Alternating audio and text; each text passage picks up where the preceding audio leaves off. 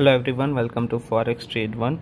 So today we are updating about strategy 5 which is calendar data trading strategy part 39 last video was part 38 published on 7th of april and almost $8000 plus profit is achieved today. So we are back with a new update. As you know in youtube description you can get the strategy details profit update trading account statement to verify. So make sure you check them. Starting with a trading account history this is a completely new update. We will check the complete history by selecting a custom period. So here we have all the details with whatever the trades we have taken.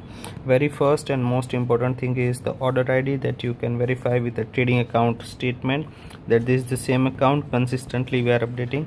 The current profit is $479,000 here is a current balance which is $484,000 we can also check the trading account statistics from the statement. Here is a graph. Constantly it is growing.